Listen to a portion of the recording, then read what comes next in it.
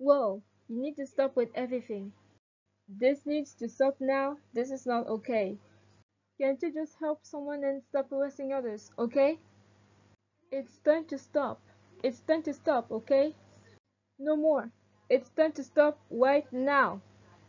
Stop cyberbullying others. You know what I mean? It's time to stop. It's time to stop. We told you to please stop harassing YunokiRoom already. And leave us alone.